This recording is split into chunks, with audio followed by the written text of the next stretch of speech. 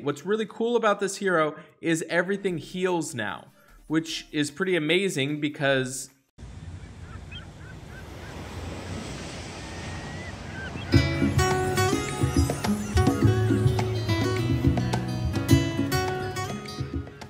Hey, thanks so much for checking out the channel. If you're curious about any other hero in Empires and Puzzles, you can view my website at anchorgamed.com. There you will find I've graded every single hero with a calibrated team of graders. This resource will always be free. Thinking about supporting the hero grades and the breakdown videos? You're welcome to donate. Otherwise, feel free to share this resource with a friend. I have my exclusive line group called Anchor Cove, where you gain access to myself and tons of other experienced players with on-demand information and resources. If that piques your interest, all that information is on the opening page of my website with a short video. Let me dive into today's Hero Breakdown. Hey, thanks so much for checking out the channel. Today we're going to be doing a brand new hero breakdown on White Rabbit. Little Rabbit has bounced out of Wonderland to come and punish your life. He deals 731 on his attack, 749 on his defense, and 1353 on his health. Overall, statistically, I'm liking everything you're producing. The attack power is pretty awesome. Defense is great, and I like that health total. He is running at fast speed, which is kind of weird because I thought that he ran at average speed. He is part of the Riddles of Wonderland event, which means that they do get a bonus. Between 2, 3, 4, 5 heroes, they get anywhere between 2% and 12% mana generation, and anywhere between 5% and 20% critical chance.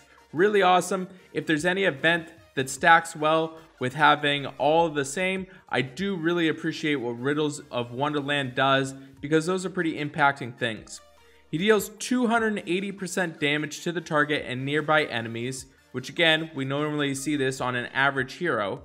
He The target gets minus 34% defense for 4 turns. The effect duration is reset if the target is healed. This effect can't be dispelled.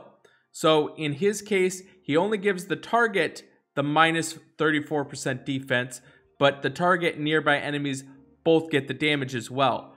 This video is sponsored by Raid Shadow Legends. It is a free massive turn-based dark fantasy RPG. To try this game out, all you gotta do, go to the video description, click on the special links. You'll receive 100,000 silver, 50 gems, 10 mystery shards, and one free champion, Hexweaver. All your treasure is waiting for you right over here.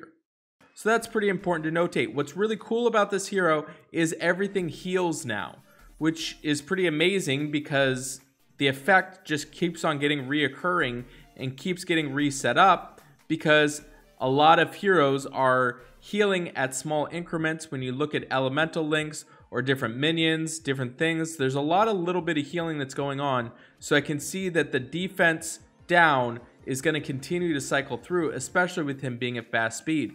Really awesome hero. He is also a cleric hero, which means he's not battling it out with too, too many heroes, but he is potentially grabbing them up, so you could be using them. When we take a look at his Titan grade, he is going to get an A grade on Titan, with him being fast, giving defensive down to the target, also dealing a little bit of damage. Uh, he is also the only uh, hero besides Vivica Costume that gives defensive regular defensive down. So that means that you can use this hero in conjunction with Guardian Jackal to give elemental defensive down as well as regular defensive down. So this hero definitely fits on the Titan team. He is going to get an A grade as far as the Titan goes. Could maybe flex into an A+, plus, but I kind of reserve those for the all-around Titan heroes. But still, overwhelmingly amazing against Purple Titans. You want to make sure you bring him in. He's very effective because you're pairing him with Guardian Jackal, and you're going to boost your scores quite a bit. So he's going to get an A grade. When we look at his offensive grade, he is going to get an A grade as well there too. I wish that he gave defensive down to everybody, but he would be too broken at fast speed. Sometimes I forget that this hero is at fast speed, but being able to give defensive down at fast speed, which is really, really awesome. I do like that. Being able to use him with Guardian Jackal, giving it, it uh, defensive down What's also amazing about this hero is that yellow is a really fast color. There's a lot of impacting heroes that are running at fast speed or very fast speed. So with him only having that small jump, jump up to fast speed versus average means that he'll do really, really well uh, on offense to where you compare him with a lot of different heroes because at that point you have like uh, Drake Fong that's going off at the same time or Joon going off at the same time. So being able to use this hero at fast speed, giving them defensive down, really amazing on offense. He is going to get an A grade. If we look at his tank grade, he is going to get a B plus grade there. Uh, he does have some pretty decent defensive stats. I do like the defensive down. I think that there's just a little bit better heroes that you can be using in yellow. Uh, with him running at fast speed, it is definitely a factor. This should maybe flex into an A minus, uh, especially being that he gives defensive down. But I, it would be a little bit different if he gave everybody defensive down that he hit. Being that he is running at fast speed, probably not the best place for him to be at. When we look at his flank grade, he is going to get an A minus grade. You could definitely pair him well with Telluria or any other hero to where you're dealing damage as well as dealing it to the to the uh, target nearby enemies and then also giving one specific hero defensive down. He is going to get an a minus grade there. And then the wing grade is also going to get an a minus grade.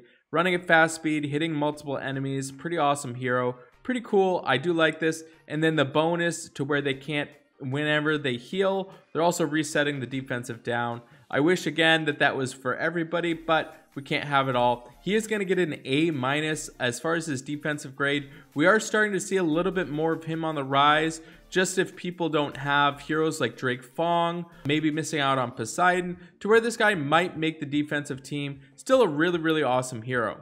When we look at his weekly raid grade, he is going to get an A on rush attack. The ability to be able to give at very fast speed, defensive down, dealing damage and making it so that the healing is resetting.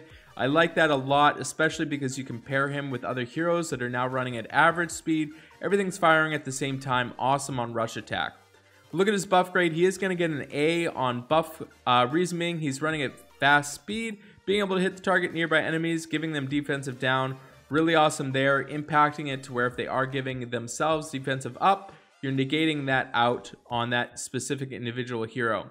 Look at his bloody battle. He's going to get an A minus grade. Obviously, you lose a little bit with the whole healing part, but still, he's a hero running at fast speed, dealing quite a bit of damage at that speed. Pretty cool. He does get an overall grade as far as an A grade. I love this hero. Riddles of Wonderland hero. Pretty awesome. So thanks so much for watching this content. Please make sure you subscribe, turn notifications on, click that little like button if you watched all the way through, and I'll see you on the next video.